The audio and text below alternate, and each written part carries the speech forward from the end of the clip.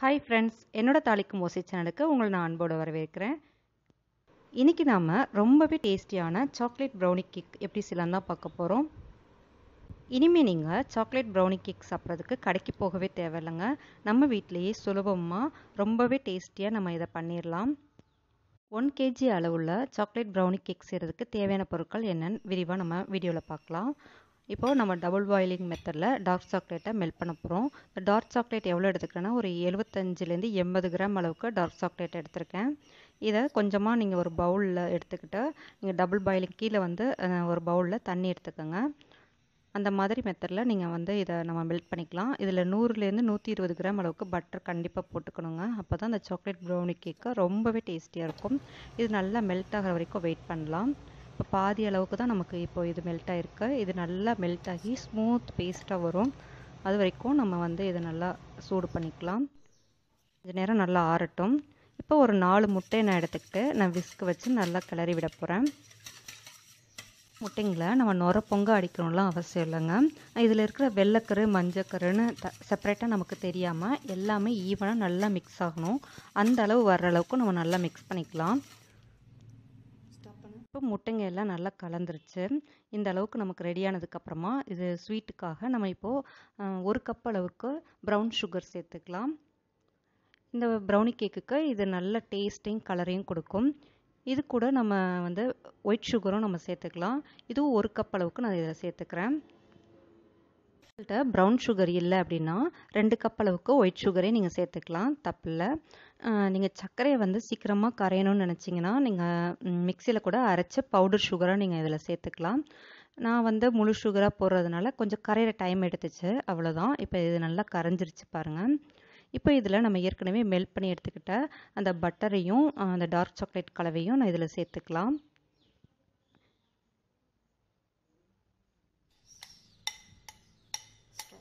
இப்போது இதில் இருக்கிற ரெண்டு கலவையும் நல்லா மிக்ஸ் ஆகிற அளவுக்கு நம்ம விஸ்க் வச்சு நல்லா கிளறி விடலாம். நல்லா ஸ்மூத்தாக இது மிக்ஸ் ஆகணும். இனிமேல் நான் நம்ம சேர்க்க போகிறது எல்லாமே ட்ரை இன்க்ரீடியன்ட்ஸ் தான். இப்போ இதில் டேஸ்ட்டுக்காக நான் இப்போது ஒரு அரை டீஸ்பூன் அளவுக்கு உப்பு சேர்த்துக்க போகிறேன் என்னடா கேக் ரெசிப்பியில் உப்பாக நீங்கள் நினைக்கலாம். இந்த உப்பு தான் இந்த கேக்குக்கு நல்ல சுவையை தூக்கி கொடுக்கும். நீங்கள் உப்பு கண்டிப்பாக கொஞ்சமாக சேர்த்து ஆகணுங்க. இப்போ உப்பையும் சேர்த்து நல்லா கிளறி விட்டுக்கோங்க. இதில் ஒரு டீஸ்பூன் அளவுக்கு இன்ஸ்டன்ட் காஃபி பவுடர் எடுத்துக்கலாம். எந்த பிராண்ட் வேணால் எடுத்துக்கலாம். நான் இன்ஸ்டன்ட் காஃபி பவுடர் இதில் சேர்த்து நம்ம செய்யும்போது நல்ல கலரும் நல்ல டேஸ்ட்டு நல்ல ஃப்ளேவர் எல்லாமே நமக்கு நல்ல தூக்கலாக இருக்கும். கண்டிப்பாக ஒரு தடவை நீங்கள் இந்த மாதிரி செஞ்சு பாருங்கள் இந்த ப்ரௌனி கேக்கை நீங்கள் அடிக்கடி செஞ்சு பார்க்கணுன்னு ஆசைப்படுவீங்க. இப்போ இதில் வாசனைக்காக நம்ம வெனிலா எசன்ஸ் வந்து ஒரு ஃபைவ் எம்எல் நம்ம இதில் சேர்த்துக்கலாம். இதில் வந்து டென் எம்எல் பாட்டிலில் பாதி அளவுக்கு அதாவது ஃபைவ் எம்எல் அளவுக்கு நான் இதில் சேர்த்துட்டு இதையும் நல்லா கலந்து விட்டுக்கிறேன். கேக் பேட்டர் வந்து நல்லா ஈவனாக மிக்ஸ் ஆகிருக்கும் இப்போ வெனிலா எசன்ஸ் சேர்த்ததுக்கப்புறமா ஃப்ளேவர் ரொம்பவே நல்லாயிருக்கு இப்போ நம்ம இதில் மைதா மாவும் சாக்கோ பவுடரையும் ஜல்லடையில் சளிச்சு நம்ம சேர்த்துக்கலாம். இதில் ஒரு கப் அளவுக்கு மைதா மாவு போட்டுக்கோங்க. இது கூட சாக்கோ பவுடர் ஒரு ஃபோர் டேபிள் ஸ்பூன் அளவுக்கு நான் இதில் சேர்த்துக்கிறேன். இந்த சாக்கோ பவுடர் வந்து குட்டி குட்டியாக நமக்கு கட்டி கட்டியாக இருக்கும். அது வந்து மாய்ஸ்சர் வந்து அப்சர்வ் பண்ணுறதுனால இந்த மாதிரி ஆகுது. கண்டிப்பாக நம்ம இதை சளிச்சு சேர்க்கும் போது தான் அந்த பவுட்ரு வந்து நல்லா ஸ்மூத்தாக செப்பரேட்டாக நமக்கு கிடைக்கும். இல்லைனா கட்டிப்படும். நமக்கு பேட்டர் வந்து அங்கங்கே இந்த மாதிரி உருண்டைகளை கட்டிப்பட்டுரும். பாருங்கள் இப்போ சளிச்சதுக்கப்புறமா மாவு எப்படி இருக்குன்னு. இப்போ இந்த மாதிரி கட் அண்ட் ஃபோல்டு மெத்தடில் மாவு எல்லாத்தையும் நம்ம ஒன்றா ஈவனாக மிக்ஸ் ஆகிற வரைக்கும் நல்லா கலந்து விட்டுக்கலாம். மாவு சேர்த்ததுக்கப்புறமா கண்ணா பின்னான்னு கலக்கக்கூடாது. இந்த மாதிரி ஈவனாக நீங்கள் கலக்கும்போது நல்லா ஸ்மூத்தாக இருக்கும் நமக்கு பேட்ரு மற்ற கேக் ரெசிபிக்கும் என்ன டிஃப்ரென்ஸ்னால் இதில் பேக்கிங் பவுடர் பேக்கிங் சோடான்னு எதுவும் தேவைப்படாது. அதே சமயத்தில் இதுக்கு பீட்டர்னு எதுவும் தேவையில்லை. நமக்கு அந்த விஸ்க்கு மட்டுமே போதுமானதாக இருக்கும்.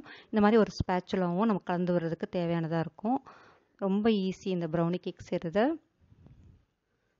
இப்போ மாவு எல்லாமே ஸ்மூத்தாக நமக்கு மிக்ஸ் ஆயிடுச்சு இப்போது இதில் கொஞ்சமாக ஒரு கைப்பிடி அளவுக்கு நான் சாக்லேட்ஸ் இந்த மாதிரி நான் எடுத்து வச்சுக்கிட்டேன். இதை வந்து நம்ம ஃபைனலாக நம்ம அந்த பேட்டரில் சேர்க்கும் போது நமக்கு இது பேக்கிங் ஆகி நமக்கு கேக்காக கிடைக்கும்போது அங்கங்கே அந்த சாக்லேட்ஸ் பீசஸ் வந்து நமக்கு கடிப்படும் போது சாப்பிடும்போது நமக்கு ரொம்ப டேஸ்ட்டாக இருக்கும். நீங்கள் நட்ஸு சேர்த்துக்கிறத விருப்பப்பட்டீங்கனாலும் சேர்த்துக்கலாம். ஆனால் என்னோட சஜஷன் என்னென்னா நீங்கள் சாக்லேட் சேர்க்கும்போது அந்த சாக்லேட் ப்ரௌனி கேக்கு இன்னும் எக்ஸ்ட்ரா டேஸ்ட் கிடைக்கிற மாதிரி இருந்துச்சு. அந்த கேக் முழுக்க நம்ம சாக்லேட்டே சாப்பிட்ற ஒரு ஃபீல் ஆகும். இப்போது இந்த மாதிரி ஒரு அலுமினியம் பேரில் நீங்கள் இந்த மாதிரி பட்டர் பேப்பர் வச்சதுக்கப்புறமா கேக் பேட்டரை இன்னும் எல்லா இடத்துலையும் படுற மாதிரி நீங்கள் ஸ்ப்ரெட் பண்ணி விடுங்க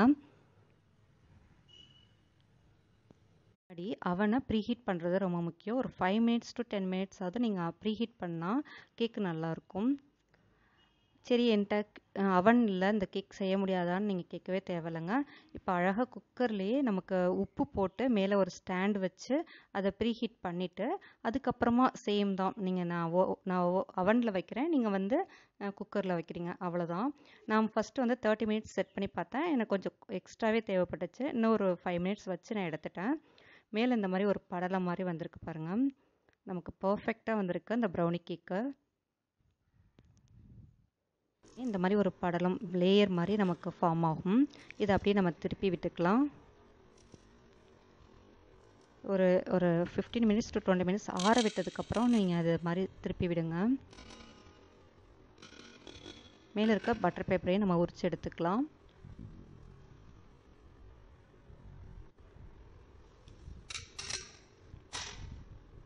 இதை நம்ம விலை கொடுத்து வாங்கணும்னா ரொம்ப ரேட் ஆகுங்க. நம்ம செய்யும்போது பார்க்கும்போது கண்டிப்பாக அதில் ஒரு கால் பங்கு அளவுக்கு தான் நமக்கு வந்து செலவாகிற மாதிரி இருக்கும். இதை நம்ம வாங்க போனால் ரொம்ப ரேட்டுங்க ப்ரௌனி கேக்கு ஒரு சின்ன பீஸே அவ்வளோ ரேட் சொல்லுவாங்க. நம்ம வீட்டிலே சுலபமாக செஞ்சிடலாம். அதுவும் நம்ம நல்ல நல்ல பொருட்கள் நம்ம நல்ல ஒரு பட்டர் நல்ல குவாலிட்டியான பட்டர் இது மாதிரி ப்ரோ நட்ஸோ இல்லை வந்து சாக்லேட்ஸோ சேர்க்கும் போது நமக்கு வந்து இந்த கேக் இன்னுமே டேஸ்ட்டை கூட்டி கொடுக்குங்க. செஞ்சு கொடுத்தோன்ற திருப்தியும் கூட.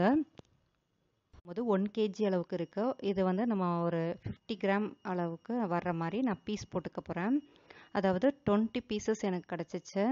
இதை நான் கட்டி கட் பண்ணி முடிச்சுட்டு எப்படி இருக்குன்னு காமிக்கிறேன் பாருங்கள்